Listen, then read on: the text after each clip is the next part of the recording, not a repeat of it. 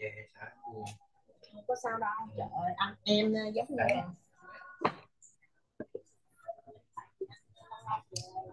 All right. Shalom, everyone. Welcome, welcome, welcome. I am Dr. Yasapa from Zion Law School.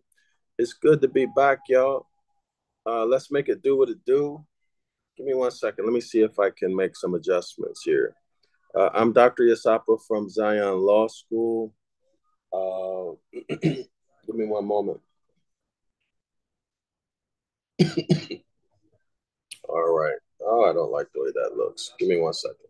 How's this? So I'm playing around, y'all, taking advice uh, from someone. No, that didn't. All right, that didn't work well. So I got it set up differently. Y'all let me know how it looks. Please. I want to have this on my full screen. Okay, so welcome to the free astro theology course, y'all. Um, I do not like the screen share. It's too thin. It's, it's not the full screen. It's uh, unfortunate. Let me see if I can hold on. See if this is better. Give me one second, y'all. Maybe it's it'll be better this way. Hold on. I think I'm gonna have to get another de- another device. Uh-huh. Yeah, it's better this way. We'll have to work with it, y'all. Anyway, so welcome. I'm Dr. Yasapa. Uh, this is the free astrotheology course, okay? And uh, we're going to continue with Moses, uh, with Joseph, rather. Going to continue on with Joseph. We left off on page uh, page 109. All right, so we're going to pick up on on 109. I'm just going to go through the scripture. All right. So if you don't remember what's happening, or if you if you missed it, watch the class right before this. I think it's number 43. Okay, y'all. So this is coming from page 109 in our textbook, which is Astrotheology of the Old Testament, the lost word regained. I don't know if y'all can see it. Wow, there's a long delay. Hold on. There's a long delay.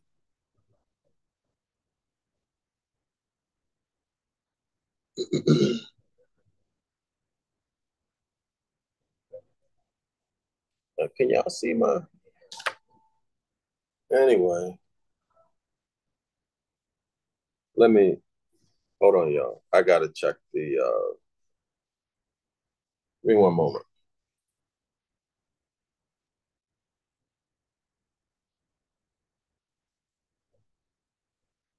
One second, all right. Dumbest motherfuckers on the planet? Yeah, I know it's offensive. Uh, they put in front of us the um,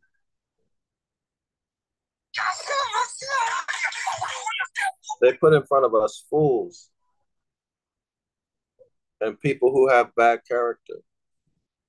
I'm talking about media. And our people just eat it up.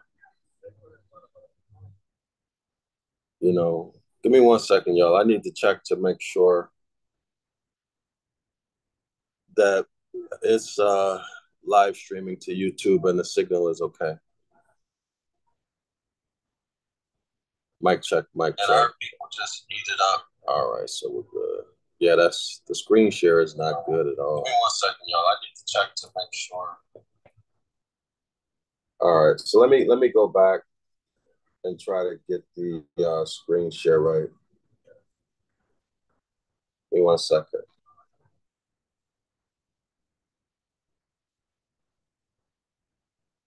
All right.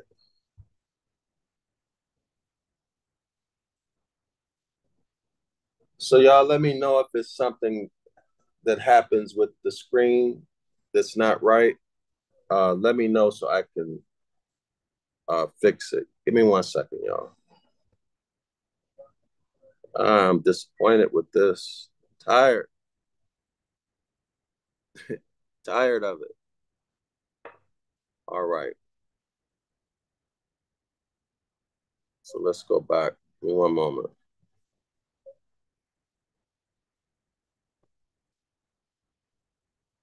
One second, y'all. Here we go again. Hmm. Hold on, y'all.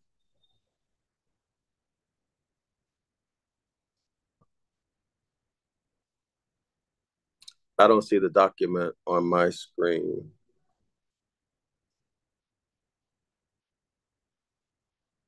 Assalamu alaikum, Islam to all the Moors. Uh, y'all let me know. Can y'all see my screen? Because on the meeting I'm hosting, I don't see it. All right, maybe this is it. Okay. Mic check, mic check. Mic check. Mic check, mic check. Huh. Mic check, mic check. So, uh, oh boy, oh boy. Mic check, mic check. I don't hear anything.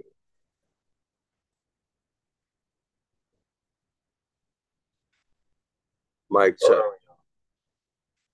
Mic check, mic check.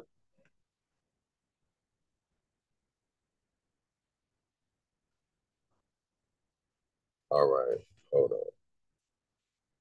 Mic check. Oh man, oh man. Mic check. Mic check.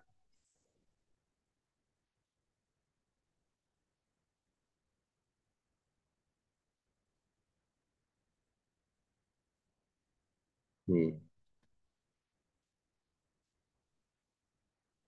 No, y'all, why it's so difficult to live stream?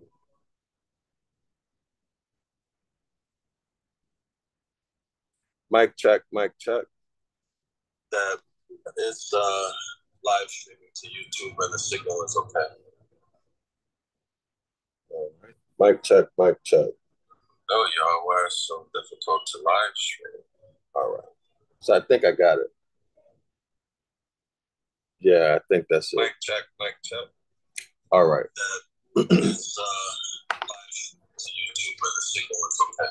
So let's pick it up, y'all. Page 109. Mic check, mic check.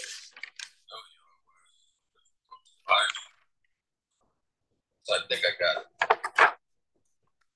All right, so here we go. All right. So Exodus, X, so let's X. pick it up, y'all. Page 109.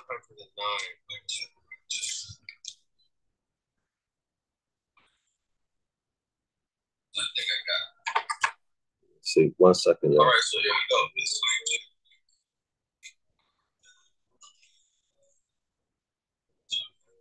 One moment. All right, yeah. All right, I'm in business. Okay, here we go, y'all. Page 109, uh, Exodus XX IX. So Exodus 29, verse 9. And here's what it reads, y'all. And thou shalt gird them with girdles, Aaron and his sons, and put the bonnets on them. And the priest's office shall be theirs for a perpetual statute. Now, let me make this statement. now, y'all get mad if y'all want to. But those of you who are curious, I challenge you, I challenge you to start researching whether or not the priesthood is legitimate. Let me say it again. Research if this priesthood is legitimate. I'm not going to tell you how. I've done the initial steps uh, into that. Okay. But I'm, I'm challenging you. If the priesthood is illegitimate, well, that means there should not be a priesthood, right? Which means, which means, y'all, in the context of what we're dealing here with Moses and what this author is talking about, remember the priests, they get the best. They get the best of everything. Right, y'all? Let me say it again. The priest or the priest craft is an elite class and they get the best of everything off the rip. Or like uh, the guy I grew up with, Tony, he used to say off the nipple. they get the best of everything off the nipple. What if it is illegitimate? And they put themselves in a position where they get the best of everything off the nipple. All right, y'all? So when we read, we have to be suspicious and curious and just not accept things just because everyone else has accepted it. Okay? I challenge y'all to do that. Now, page 110. Now, isn't it curious? Isn't it curious how this elite class membership to this elite class would flow through a family. If that is not nepotism and elitism, if that's not a prescription for disaster, I don't know what is. What could be worse than that? Think about that, y'all.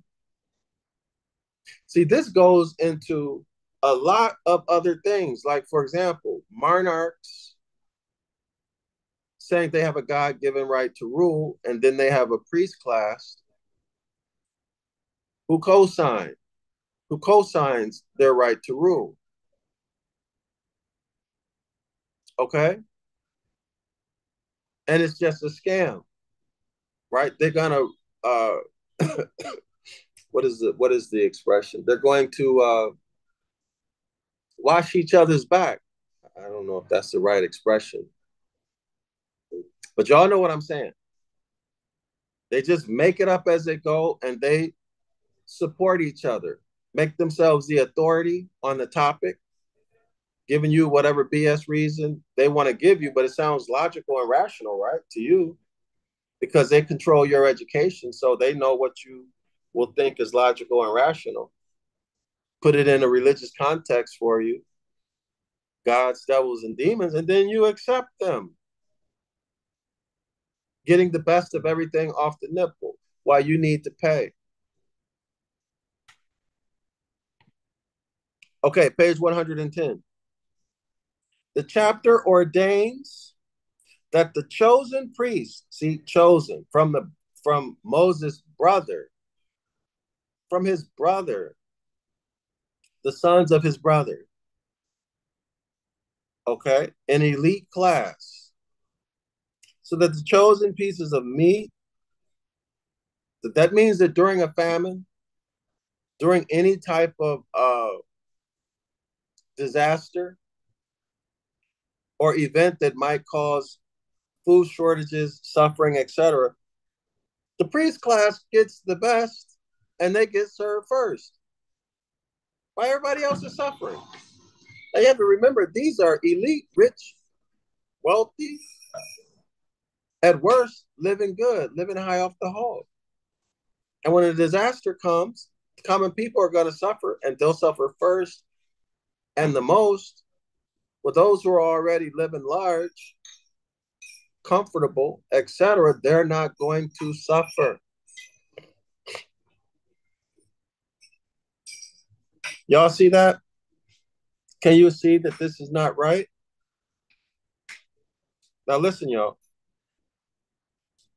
The chapter ordains that the chosen pieces of meat and bread and best, B E S T, of everything, of everything, shall be provided for the priest forever. Now, who's going to make sure that the priests get their cut off the nipple? Who's going to make sure of that? Well, obviously, the king through his government. They're going to establish the priestcraft, the, the priestcraft embedded in the government, whether or not you know it or not. But there will be a known or unknown or secret agreement between the government and religion, the priestcraft, where the king says, "You wash my back, and I'll you scratch my back, and I'll scratch yours." And government institutions. Y'all know we've seen this in the West. Government institutions will be used to support the priestcraft, to legitimize the priestcraft in exchange for the priestcraft legitimizing the government. Right? It's God's will that uh, this person be president of the U.S. corporation or of France or of the, it's God's will. God said this and God said that, right, y'all? Or to organize a scheme. Get the preachers, pastors, reverends, imams, etc. to support a pandemic and have all the people get punched in the arm. Justify it by using quote unquote God's word. Or go to Paul, somebody like Paul, who says, Submit yourselves to the superior authorities. And anybody who does not submit themselves to the superior authority, meaning the government, let's say the U.S. government, is actually going against God. Y'all see how they're scratching each other's back? To your disadvantage. Y'all see that even the New Testament is involved in government. All right? Through Paul, what I just told y'all. All right, what I just uh, reminded you of, brother. I'm, I'm sure all of y'all know that. You, at least you should know it. Okay, now let's continue. So, this is the unholy relationship, the hidden or secret relationship between religion or the priestcraft and government. Y'all see that? Now you see why these governments have made religion such a big deal. Oh, freedom of religion and oh, oh, y'all see how they played you? That's that's actually a psychic attack. Oh, in the US, you got freedom of religion. They just positioned it as though it's something good for you. Not knowing, you not knowing that it is a Trojan horse to control you. to put parameters around your perception, what you think, what you perceive, and what you understand, to put limitations on you, and to get you to do things that go against common sense. Because you're going to do it because God says so. All right, y'all see how they played you? We want to talk about religion true religion. That's a return to the Most High, which means what? Living harmonically with nature. If you claim to be a prophet, well, you show enough better be able to read the starry heavens. If you claim to be a prophet, as the scripture brought out, by looking at the liver of some animal, or by doing anything other, any anything other than reading the starry heaven, then you're out of order. Because divining, right? Being a seer, the prophets are seers. Those who prophesy by looking at or divining a liver, looking at or using anything other than that, what does the scripture say? They they uh, prophesy falsely, right? They prophesy falsely and they rule. They rule through these false prophecies. I hope y'all understand what I'm trying to get across to you.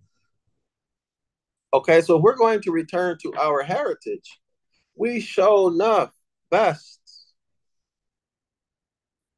to learn and master astrology.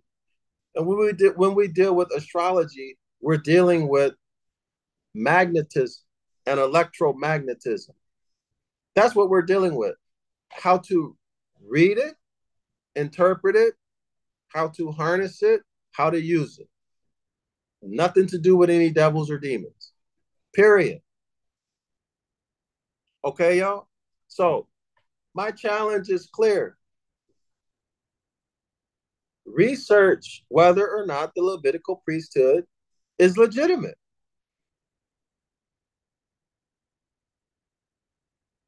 And if you like, let me know. But don't go following a priesthood or a group of elites and you don't even know if they're legitimate or if it or if the priestcraft itself is legitimate. You don't know if they just wrote themselves into the book of the law. Do you know that? What if they just wrote Jeremiah 8 8? What if they just wrote themselves in? And you being trusting, you you gave full faith and credit since birth. You never thought to question anything. You've been taught not to question anything. Otherwise, you're a troublemaker, right? People aren't going to like you. Where else are you going to go? Y'all heard? You just accepted it. So now you don't drink the Kool Aid and you're following a priestcraft who doesn't have your best interest in mind. Now, if they are illegitimate, based upon your research, I'm not going to tell you what I came up with. What are you going to do? What action will you take if if you find through your research that the Levitical priesthood is illegitimate? Y'all know if you find that it's illegitimate, that means everything from the beginning that has anything to do with the priesthood, with the Levitical priesthood, y'all know that you can delete it. It's void. Void from the beginning. I just gave you a big hint. I just gave you the direction to take in your research. Now let's continue. Page 110. In other words, y'all, in other words, go do your research. Do your research. Take your full faith and credit back. Research whether or not the Levitical priesthood is legitimate. Then make an intelligent, informed decision based upon your critical thinking, analytical mind. Okay, y'all? Give the full faith or credit, rely on, on the, the Levitical priesthood doctrines. Actually, no, let me let me say, let me take that back. If you find that the Levitical priesthood as a craft is legitimate, then you can accept it. And now you can start fishing through to see what documents, uh, uh, uh, doctrines rather, are legitimate. And I'll give you a hint on that. if it's out of harmony with natural law, then you best believe they made it up and wrote it in there, just gave themselves power. Just like Pharaoh and Joseph, they just gave themselves power under the pretense of a dream and interpretation of a dream. Okay, now let's continue. Uh, uh, page 110, next paragraph. The recent famine in Russia offers a good example. A good example of what? Well, a famine and then the priestcraft living well during the famine and the common people suffering and dying. That famine was uh, 1891 and 1892. Y'all can research that yourself. The priests fed and the people starved. Y'all hear that? The government saw to it that the priests were fed. Why? Because they're in bed together. You scratch my back, I'll scratch yours. And the people starved. Now, why would the people starve? Well, because both are living off of you. And thus it is in every priest ridden country. Now, I've been to countries where the Catholic Church have a lot of power, and those are some of the worst places to go in terms of uh, living conditions and poverty. I know that for a fact. Okay? And tell y'all this, y'all. Y'all know in Philippines, at least when I was there, I have no reason to think that this has changed because if it changed, I think I would have heard about it. They don't want the people to use condoms. Now they have extreme poverty. Y'all have not seen poverty until you go to the Philippines. That's a whole different level of poverty. A whole you you cannot even imagine that kind of poverty until you go see it. But then a Catholic Church forbade people to use condoms. They discouraged the use of condoms. Can y'all imagine that? So now you're trying to do you you know you're suffering. You're praying to God, hoping God will help you, and you're gonna do what God wants you to do. You can't afford to bring another life in the world and then another one and another one. Y'all mm-hmm. living on the street, barely got a box to sleep on. And I'm I'm not joking, y'all. I'm not being facetious. I'm telling the truth. But the Catholic Church is telling you don't use a condom. So now you bring these new heirs into the world and you have absolutely no way to support them.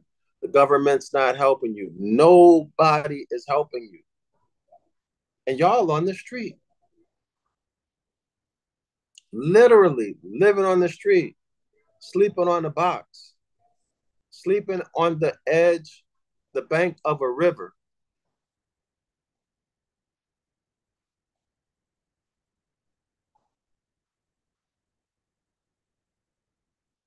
And that's considered normal in the Philippines. Nobody, no, no one even feels sorry for them. They got three, four, five, six, seven heirs. All of them sleeping on the street, but they won't use a condom because of their religion. Then, also, what I experienced uh, in Philippines, you can't get divorced. You can get what's called an annulment but you cannot get divorced. They give you hell and it's expensive. Can y'all imagine that? You have two people who get married at 18, 19, 21 years old, 23 years old, or even 30 years old. It doesn't work out. They want to separate, get divorced, go on with their life. Catholic Church says no. You cannot do it. So, Philippine government, you cannot get divorced. I got a friend. I had a friend who dealt with this issue 20 plus years. Her ex husband, she and her ex husband were separated 20 plus years, y'all. 20 plus years. He had already experienced mental illness. He was, I don't know what his mental status is now, but he had a lot of problems and they hadn't seen each other in 20 years or so. Court would not let them get divorced. And she had a new a boyfriend. They wanted to get married. He was a foreigner. You know, they had a child together. They wanted to make a family. They could not. Could not. so this type of and, and and then of course, of course, what does a government, let's say, what does the US have to do with you getting married? Right? See, if you're in that slave frame of mind, you go and you get a license to do something that you don't need a license or a third party involved in at all. Whoever you want to spend your life with, that's your business. You don't need a corporation to give you permission. In other words, they're stealing your birthright and then selling it back to you. And at the same time, putting you in bondage through that document without telling you. Fraud. Anyway, let's continue, y'all. But this is the dirty, filthy relationship between religion and government, how they rob you of your birthright make you suffer, put together schemes that cause suffering to make you beg them, the government or the church, well, church, you know, the God and the government to save you. Okay? And then once you fall for the trick, they come out looking like heroes and she and you come off worse, much, much worse than you were before you went in. Completely under their control. And they done robbed you of your birthright. Okay, y'all? Put you in slavery. That, that's the point. They put you in slavery. Through what? Through fraud. The recent famine in Russia offers a good example. The priests fed and the people starved. And thus it is in every priest ridden country. The priests perpetuate superstition. What's superstition? Y'all go back and look at some of the look at the little the Levitical priesthood. Look at some of the things that they were doing. For example, one of my favorite things to talk about are the animal sacrifices. Killing all those animals. Animal ain't got nothing to do with, you know, what you did last night or what you feel ashamed of. Superstition. There, there, there's so much superstition in these religions. Whether you are a Hebrew Israelite uh, Christian or Hebrew Israelite Jew, or whether you're just an ordinary garden variety Christian. Y'all full of superstition, full of it. Someone comes talking to you about herbs. I remember back in the day, you couldn't talk about herbs. People would start saying you're a witch back in the 80s and 90s. They'll start calling you a witch or a wizard. Huh? or you, let's say you start talking about uh, the constellations and the zodiac signs, people start calling you a devil, a devil worshiper. But every time you look at your watch, you're dealing with astrology. but you're ignorant. You're ignorant and you don't realize that. You don't have any clue on how your watch tells time. You don't know what that's based on. It's based upon the celestial bodies and how they move in relation to one another. Okay? So it's all kind of ridiculous stuff that the priest let me let me let me just read it. The priest perpetuate superstition. This is your religious doctrine that's out of harmony with nature. That's that is the screening test. The priest's role in the whole thing, in this whole relationship, is to do what? Perpetuate or perpetuate superstition and ignorance.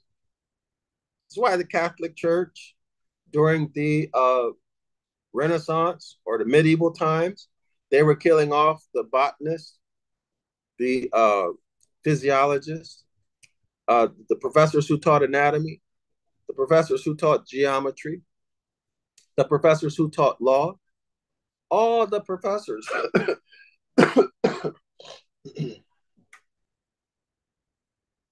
Anybody caught teaching the sciences was to be dealt with, exterminated. Now, don't take my word for it, y'all. Go check it. Go check it for yourself. And then they used the excuse, well, the Catholic Church thought that they were worshiping the devil. They thought that science was worshiping the devil, you know, studying anatomy, teaching anatomy, studying mathematics, geometry, studying geology. They thought this was devil worship. No, that's a lie. They did not think it was devil worship. No, they wanted to destroy Moorish science, Moorish culture, Moorish heritage. They wanted to separate you from nature. So, to replace the science with beliefs that often go against nature. And when you go against nature, nature will communicate with you through corrective actions which we experience as pain and suffering. Y'all understand? This is the Hermetic law of, of, of cause and effect. All right? The pain and suffering feedback. Stop doing that. All right? So the Catholic Church wanted to replace nature and the natural sciences, living in harmony with nature, Replace it with religion, religious doctrines. So I'm telling y'all, start examining the Levitical priesthood. Is it one legitimate? If you find that it's illegitimate, you can stop right there. You don't need to know what they're talking about. All of it's void. If you find that it's legitimate, well, now you got to go and sift through the doctrines to see if they're harmonic with nature. Because the Most High's commandments are natural law. I hope y'all, hope y'all eyes can perceive and ears can hear and understand this information that I'm communicating to you. If you cannot, if you're angry at me, undergoing cognitive dissonance, it simply means that you are still cursed by the historical Jesus Christ figure. The scales or the, the chains have not come off of your mind, and your eyes and ears have not been recoupled to your mind yet. All right, so don't get mad, just hang in there. Now, the priests perpetuate superstition and ignorance and with their pretense of being elected by the Almighty. Y'all got that? In other words, they lie. They lie and say, We're a priestly class. We've been chosen by the Most High. Therefore, you must listen and do whatever we tell you to do. If you don't, if you don't, we're going to ostracize you or terminate you. That means take your life away. See, they're not playing. Ostracize you, destroy your reputation, destroy your reputation. That means that your network, people who you know, will start to see you in a very negative way. You're going to lose opportunities. You might lose your kinfolk behind that. I know in the Jehovah's Witness organization, when they ostracize you, all your kinfolk, mother, father, siblings, your heirs, they will totally cut you off, thinking in their mind that they're helping you.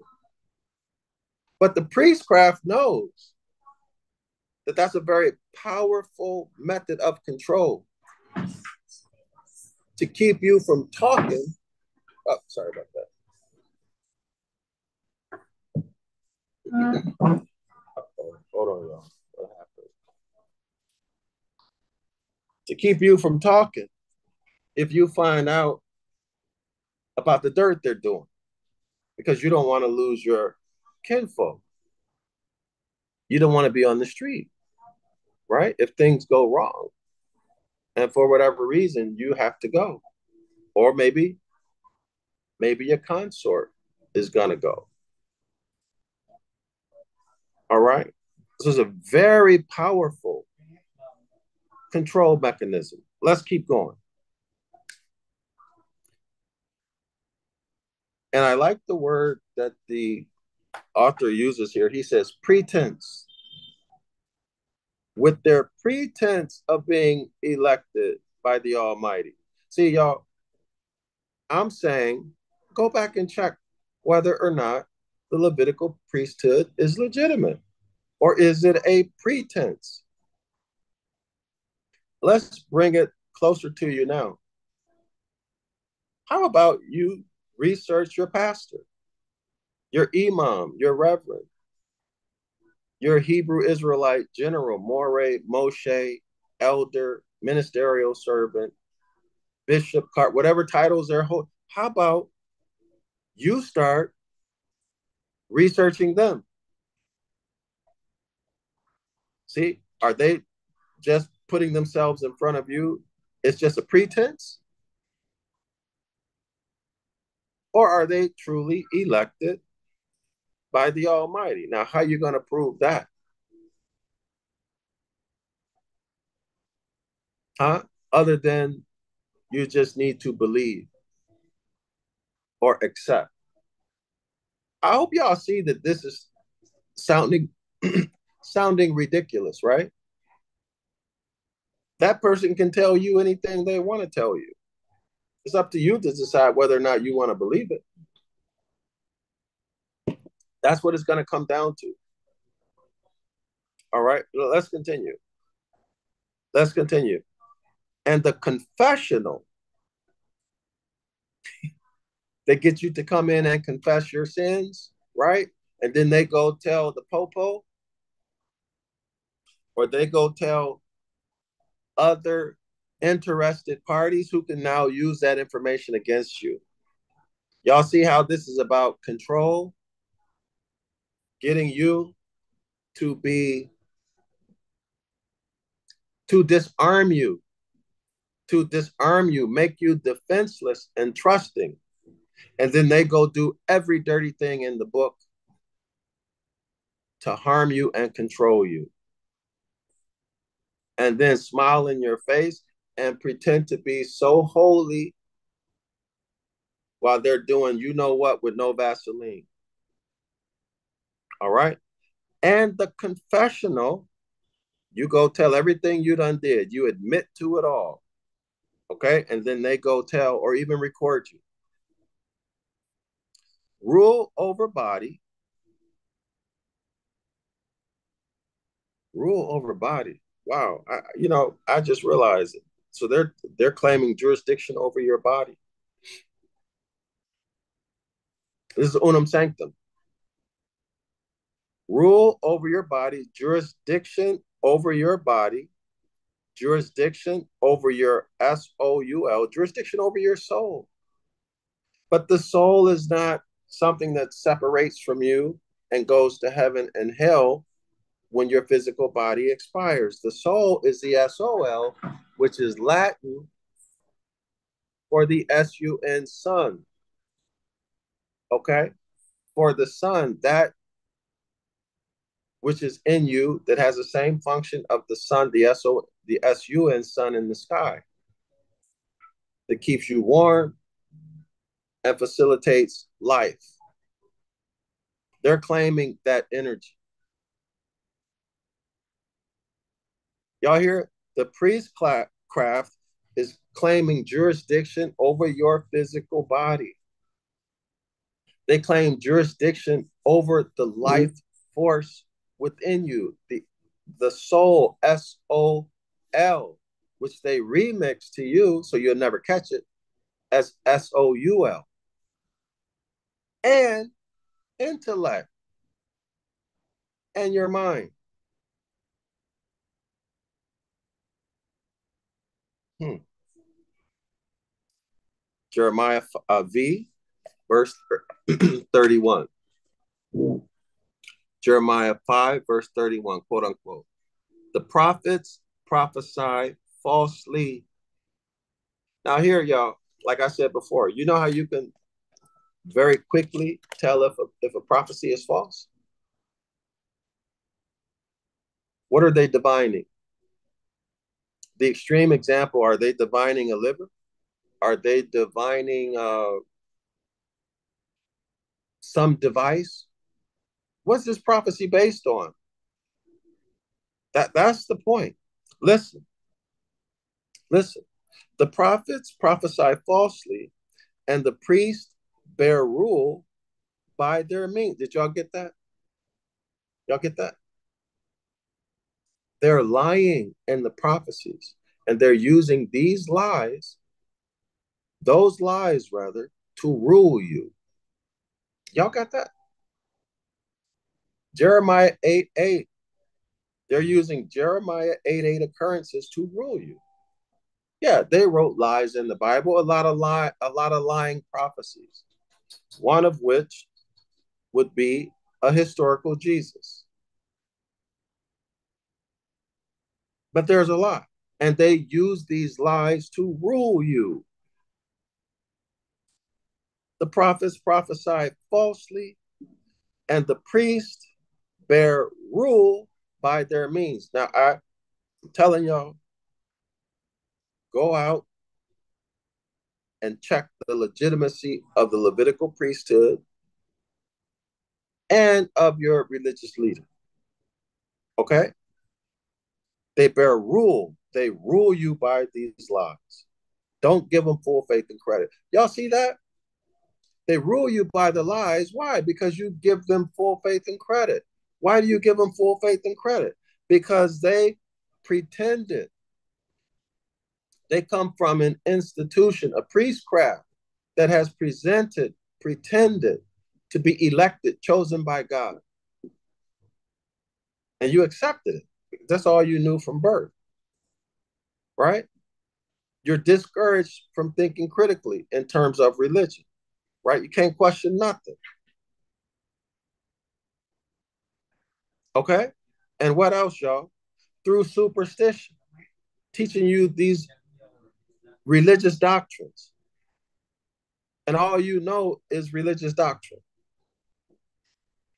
And ignorance. You don't know anything about natural law or the sciences. You don't know anything about constitutional law. You don't know anything about the Hermetic laws. All you know is Jesus Christ uh, died.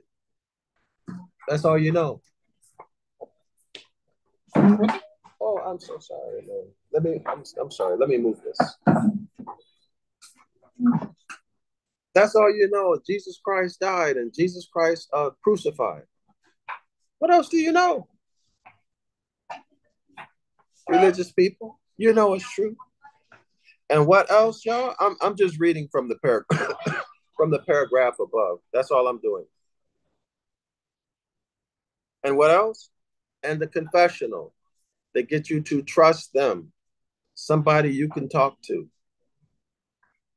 But that's a trap too. And and what? They claim jurisdiction over your body, over your life force, and your intellect.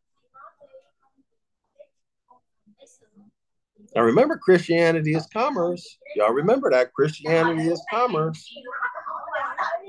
All right. So they're claiming jurisdiction over you.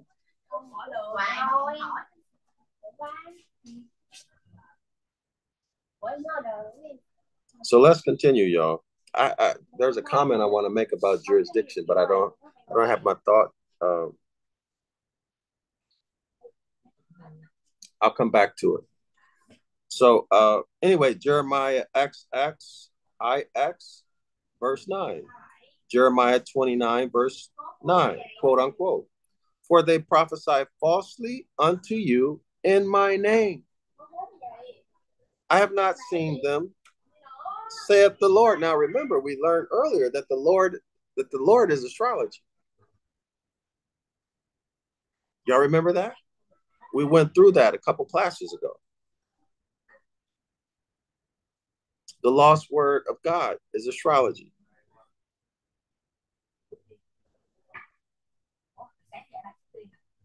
Okay, St. John 1, St. John I, verse 1. St. John 1, verse 1. Quote unquote. In the beginning was the Word. And the Word was with God. Now, now y'all already know that this word God is an injected word. You, you're better off to delete it. In the beginning was the Word, and the Word was with God, and the Word was God.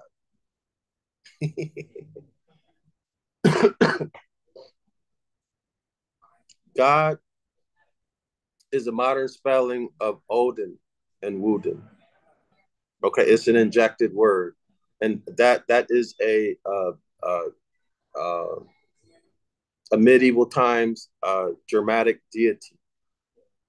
Okay. So in the beginning was the word, and the word was. Let me replace it. Divine. Okay, or you can just strike it out. Okay, because there is no external God. And this is definitely not the creator of the boundless universe who you have been conditioned to believe it is. It is not. Okay. Number two.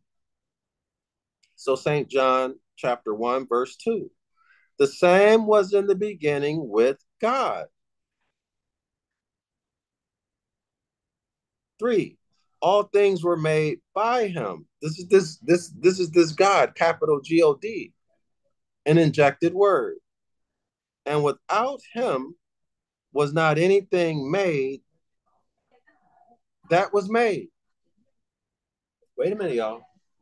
Without him, not anything was made that was made. Why would they write that so confusingly? What is it saying here? Well, some things were not made. They just always were. Let me read. Let me let me read it again. Uh, John chapter one verse three.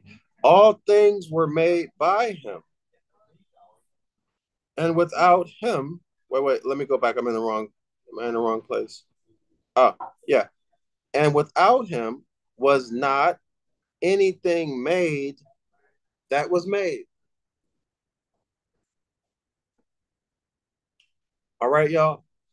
Do, do you think they wrote that in such a convoluted, confusing way without the intent of it being confusing? Okay.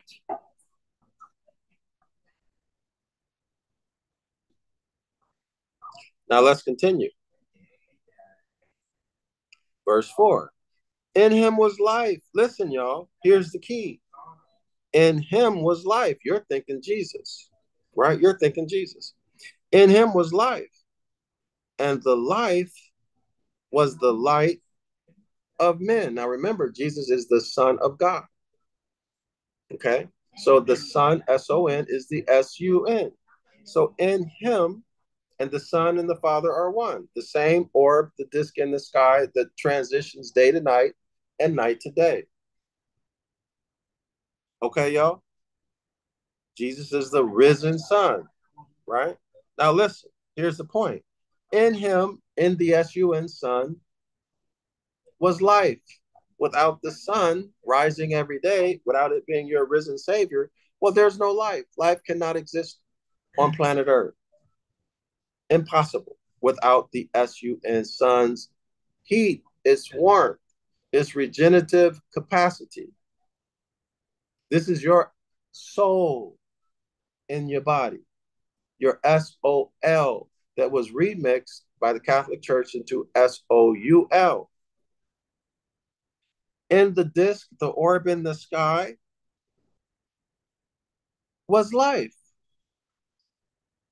And the life was the light of men. So the sun comes out, now you can see. That light, the S-U-N sun,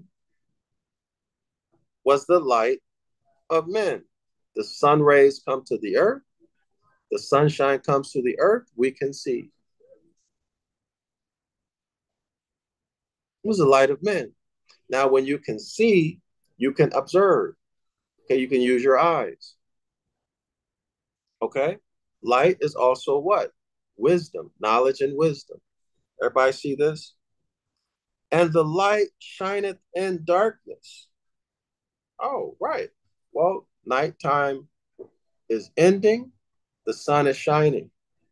So the light is shining in darkness. The sun or the day is transitioning from night unto day.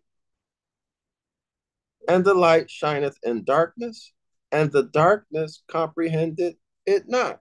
Now, we go from sunrise to sunset. So the, the daylight to the night. Okay, daylight to night. Now, light represents what? Wisdom, knowledge, also what? Higher self. Higher self. Love, truth, peace, freedom, and justice. The highest principles in the universe. And the darkness represents what? Lower self. The winter months. The cold months where you got to struggle or even fight or kill to survive. So now listen. And the light shineth in darkness. So the higher self, man, or man with the womb, woman, goes into the company of lower self people. Now the light is shining in the darkness. And the darkness comprehended it not. And these lower self people don't acknowledge or respect that higher self person, this light shining in front of them. In fact, they can't stand you. Right? All that bright light shining in your face, all you know is lower self stuff, lying, cheating, deceiving, tricking people. Now here comes here comes a higher self person you get scared, nervous. Why? Because they might tell. In your mind, you're afraid they might tell your schemes. You might get busted. Okay? And have to pay the cost. So the light comprehended it not. Y'all see it? Let's look at it a different way. The higher self person goes into the company of darker self people, uh, of lower self people, dark, right? Higher self, man or woman, in the company of dealing with a lower self person. Let's call the higher self person the Christ. And the Christ is dealing with you based upon love, truth, freedom, and justice. Talking to you about the Most High's commandments, natural law, including astronomy slash astrology, magnetism, electromagnetism, geometry, the science of numbers, zero. Excuse me, y'all. All the natural sciences. But the darker self, the lower self person, rather, don't want to hear it. They're getting tired of you. So what do they do? They stop listening to you. They block you out. Or even do what? Maybe the envy and jealousy sets in. Okay? Or maybe maybe they start to see you as being someone who's going to steal their attention and you're going to become the center of attention and not them. I'm talking about a narcissist, right? And so they start doing all of the things that narcissists do talking about you behind your back, claiming that they're a prophet and that you're evil, right? You're a traitor, you're whatever, whatever negative stuff. They start recruiting other people. They call them flying monkeys. Get it from the Wizard of Oz, the Neanderthal. Start recruiting these flying monkeys to go trash you. And there behind the curtain, the puppet master orchestrating, orchestrating the destruction of your reputation while making themselves appear to be innocent and such a good, outstanding, upstanding person, man or woman. But they're secretly trying to destroy you, using people to destroy you. Okay? Common common tactics that these people who are high on the narcissistic spectrum will do to you. So what do they do? They hate you. They block you out. They try to destroy you. Okay, destroy your reputation. In other words, they kill the Christ in their mind, in the skull place. They kill the Christ. The Christ is you the summer solstice, the higher self. They killed the Christ at Skull Place. Y'all see it? Now let's go back to the text. the sun and light are life. And the light of its testimony, listen, y'all. And the light of its testimony. It's the light of the sun's testimony. Well, what's that? Well, we see the role the sun plays in nature, how it facilitates life, how we can't live without it. It's our risen Savior. We see the role that the sun plays in terms of our becoming educated, knowledgeable, and wise, our ability to do science, create technology, and make products and services from that technology. The S-U-N sun and light are life. And the light of its testimony is hidden to ignorance. Y'all see that? Hidden to ignorance. Oh, astrology, that's of the devil. Oh, mathematics and medicine, herbology, that's of the devil. Who's doing this to you? The priestcraft. how are they doing it? Public education, church, the schools and churches, synagogues, temples, mosques. The light of its testimony is hidden to ignorance. What ignorance? Well, the priestcraft's role is to perpetuate superstition and ignorance the priestcraft's role is to perpetuate superstition and ignorance. The light of its testimony is hidden by the priestcraft to ignorance and superstition, as its light is to us in the nighttime. Okay, so at night, depending on where you're at, you cannot see unless you got street lights on, right? Very dark. You can't see. In fact, if you're in a forest, you might get attacked and eaten by a wild animal. Why? Because the light is hidden. If you're in the north, the, you know, it's, it's dark outside. You can't see. The light is hidden. Okay, y'all? This is, I hope everyone can understand what uh, what the author is communicating here and what these verses mean in John chapter 1. From everlasting to everlasting, God's word. Remember, God is Odin and Woden, the modern spelling. It is an injected word. It's not an ancient word. They put that word in there. All right? From everlasting to everlasting, God's word or testimony. So this would be what? This would be the sun, the S U N sun. Now, let's go back to the Hermetic laws. The first Hermetic law all is mind. All is mind. Mind is thought, awareness, right? Intelligence. Consciousness, y'all. Consciousness.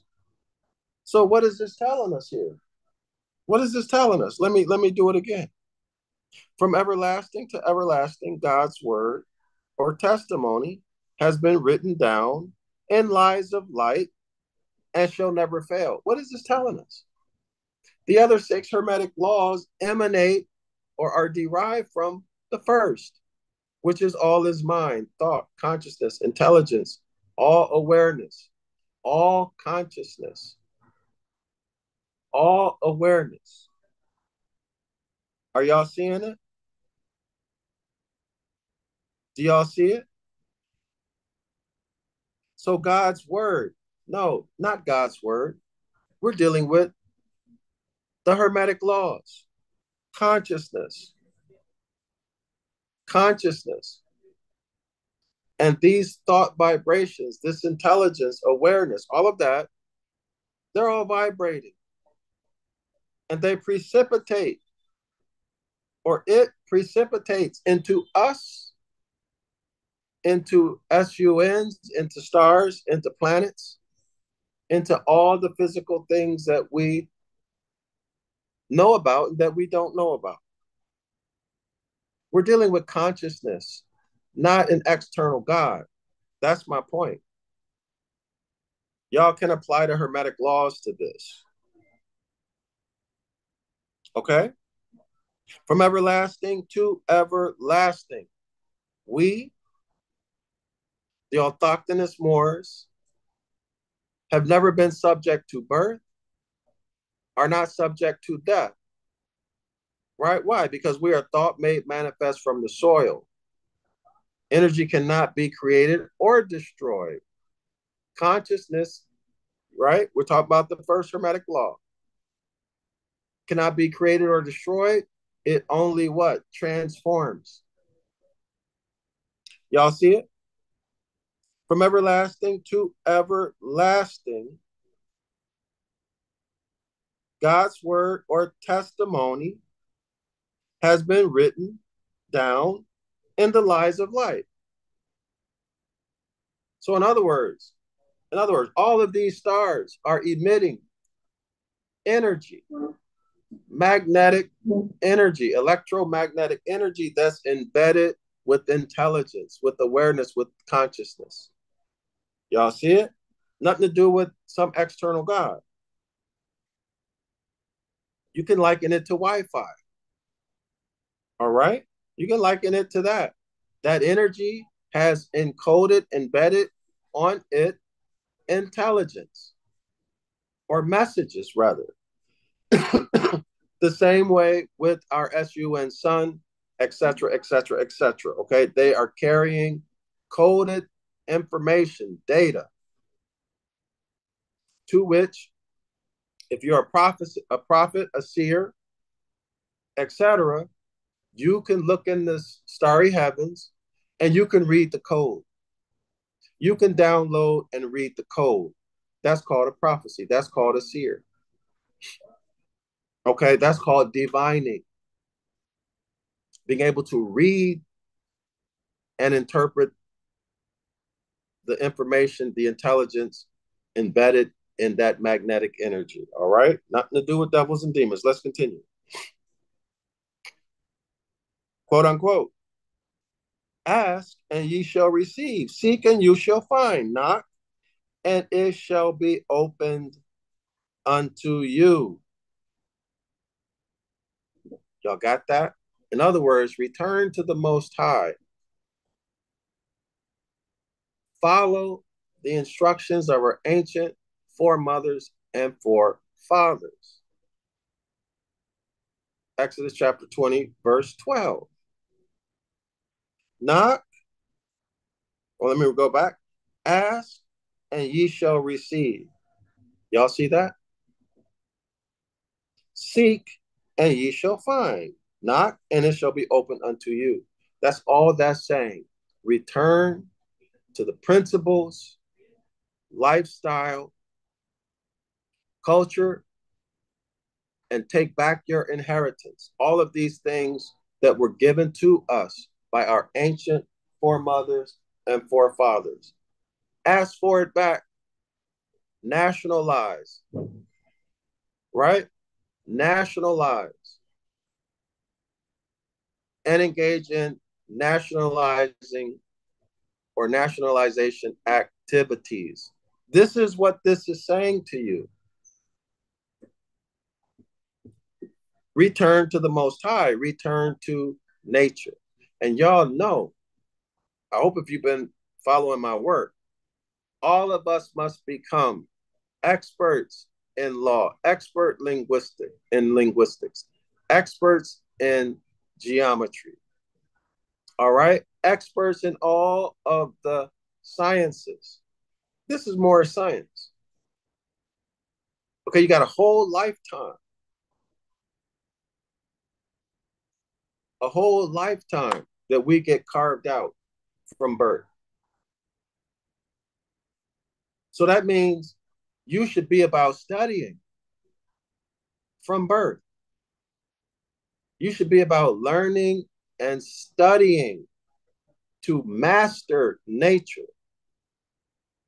And the end product will be a man or a woman or a little bitty heir who's living in harmony with nature, honorable at all, all times and all costs, living the highest principles of love, truth, peace, freedom, and justice, and and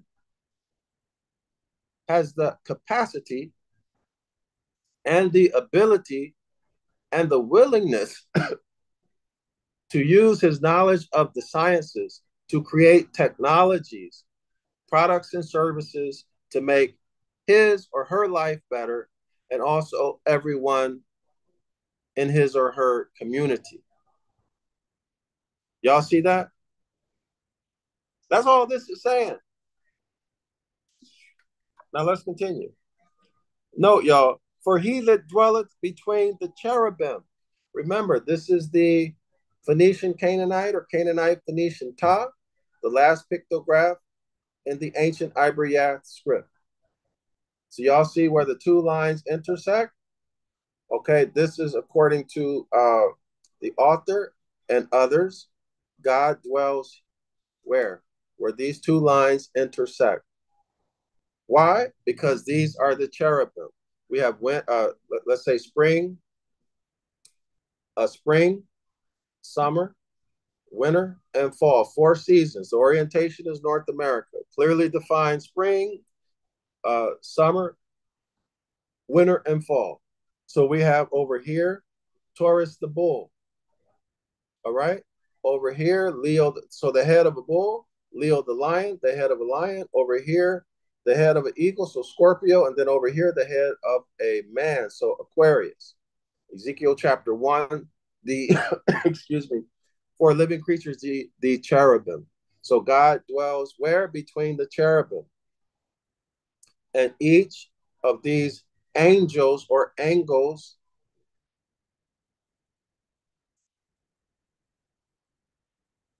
are marking what? The beginning and the end of a season. All right? Y'all see it? For he that dwelleth between the cherubims, quote unquote, hath made his ministers a flame, a flaming fire.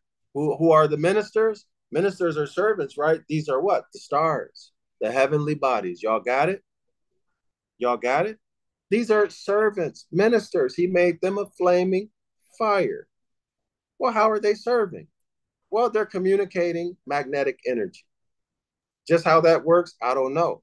I don't know how electricity works, but I, I use it. I don't know how Wi Fi works, but I use it. I don't say it doesn't exist because I don't know how it works. Psalms X I X, verse 3. Psalms 19, verse 3. Quote, There is no speech nor language. Okay, so that's words, right? Speech, language, words, linguistics, where their voice is not heard. So, in other words, the magnetic energy reaches everywhere. Wherever speech or language is is going on. Okay, so maybe the animals or insects they have their own way of communicating language, right? And speech. Every part of the earth is receiving this magnetic energy. Verse 4 their line, so line, ray, wave, their line is gone out through all the earth, and their words to the end of the world or to the end of the universe. Y'all see that? So this the sun, the sunlight, the the light or energy coming from the stars are all embedded, all encoded with intelligence and information. So for the wise who can catch it, harness it, interpret it, and use it, then you're telling what? You are a true prophet, a true seer. Okay? In them, that is in these rays of energy, in these lines, in these rays of energy, in these lines, in them hath he set a tabernacle for the sun. Those are the 12 zodiac signs. Y'all see that? Now I'm going through this, y'all, so y'all can see this in the scripture with thine own eyes. Page 111. If you would read more of prophets and priests, mediums, and magnetism, curing by the laying on of the hands. Now, I know my buddy from college, I told y'all before, my buddy from college, Doug, did this using Reiki. Doug was a straight up scientific thinking person. Doug was a, uh, I guess you could call a guy like uh, Doug a goofball, a nerd at that time. He was a straight up science guy. Walk. He he used to. This is before laptops. He would walk around with his Apple computer in his backpack.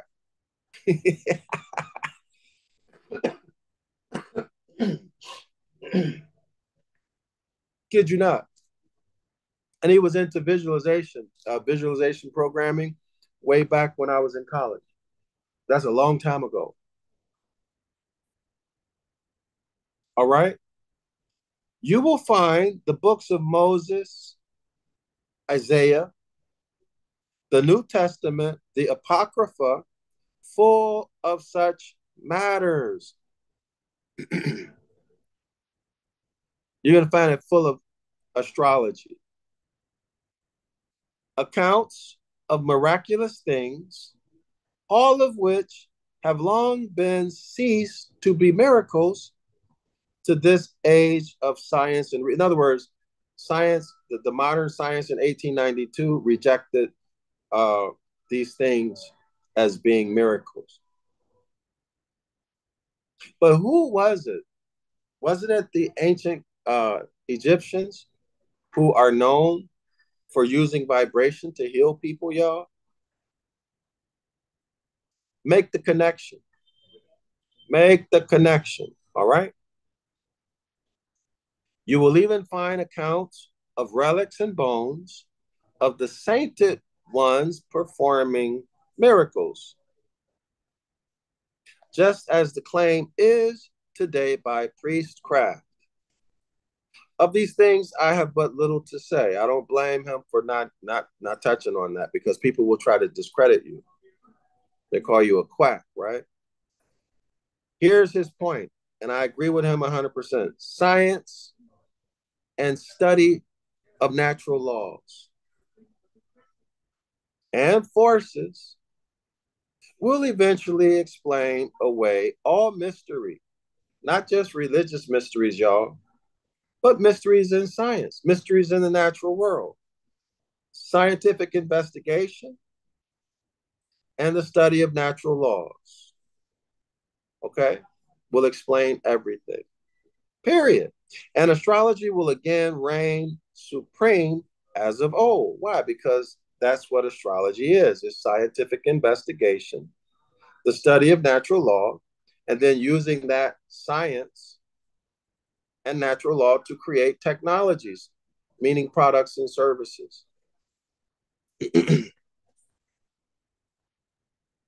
From that which has been shall be. Y'all see that? That's the author's point. From that which has been, that's astrology. It's ancient. Shall be. It's going to come back. Okay? It will be proven.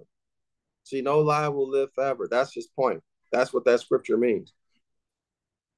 There is nothing so perfect. Listen, y'all.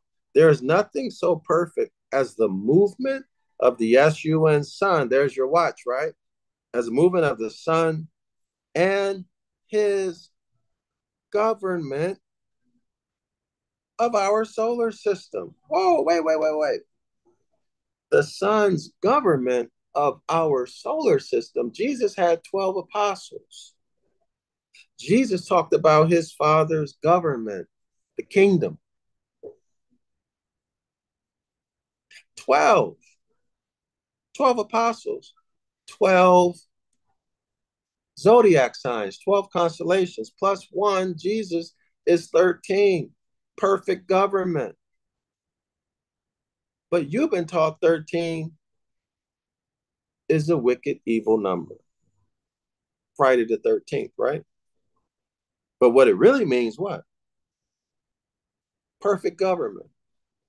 So if you want to embed perfection, meaning something has been completed.